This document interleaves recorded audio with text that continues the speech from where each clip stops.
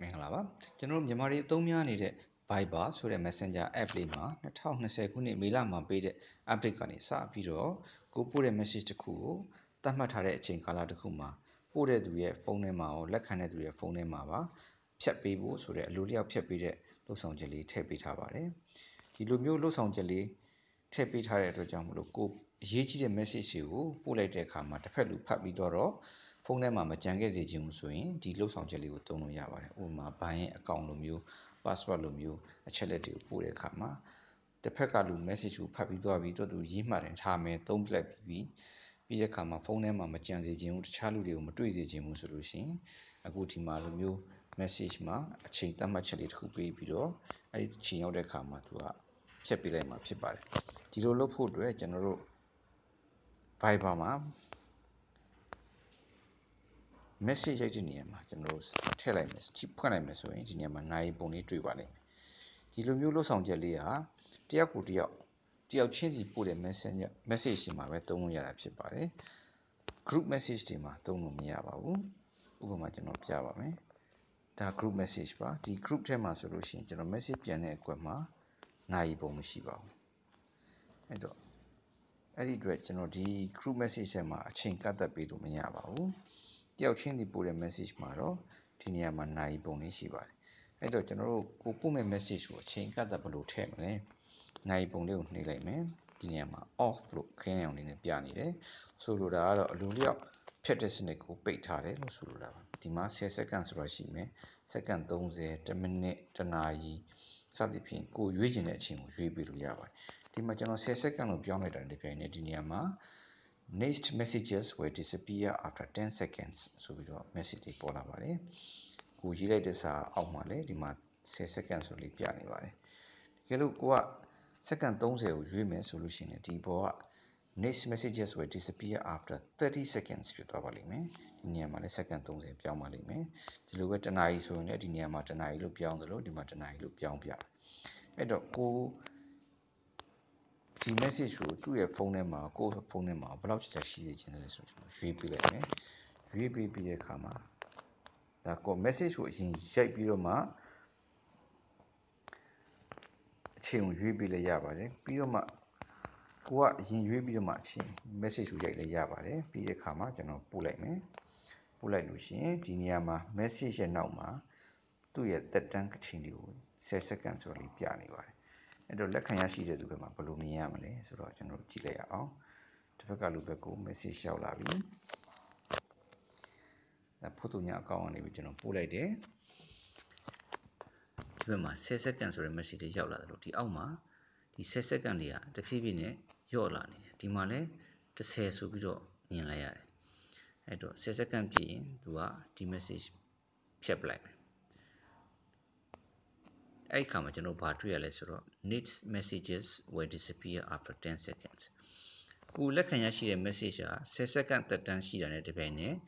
ကိုပြန်ပို့မဲ့ message ရဲ့သက်တမ်းကို10စက္ကန့်ကိုသူအလိုလျောက်ပြောင်းပေးလိုက်တယ်ဒီနေရာမှာကျွန်တော်တို့ခုသတိထားဖို့လိုပါတယ်ကိုလက်ခံရရှိတဲ့ message မှာ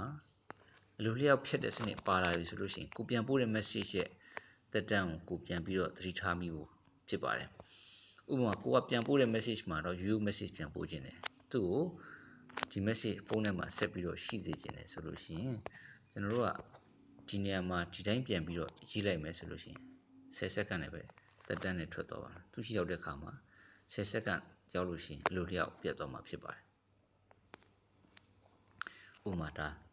သူရှိ message ရောက်လာပြီเนาะဟိုဘက်အကောင့် message ရောက်လာပြီပြန်စာ10စက္ကန့်အဲ့တော့ ကိုကပြန်ပို့လိုက်10စက္ကန့်သူကပြန်ပို့လိုက်10စက္ကန့်ဆိုလို့ရှိရင်ဒီခါလေးကြာရင်ကိုက message ကိုခြံခင်းတယ်အဲ့တော့ကျွန်တော်ကပြန်ပြင်မယ်ဆိုရင်ဒီမှာပြင်လိုက်မယ်30ကိုကျွန်တော်ပြန်ပြင်လိုက်မယ်ပို့လိုက်ပြီတစ်ဖက်ကလို့ message ထဲမှာ30ဆိုတဲ့ message ရောက်လာပြီ count down လုပ်နေတယ်ဒီညမှာသူ့ဘက်ကပြန်ပို့တဲ့ message ဟာလည်း next messages will disappear after 30 seconds ဆိုပြီးပြောင်းသွားတယ် အဲဒါကြောင့်ဝင်လာတဲ့ message ရဲ့တက်တန်းတိုင်းပြန်ထွက်မဲ့ message ဟာတက်တန်းတတ်မှတ်ပြီးသားဖြစ်တယ်အဲ့တော့ကိုကဒီညမှာ message မပြောက်ခင်ကျွန်တော် screenshot လေးကျွန်တော်ရိုက်လိုက်တယ်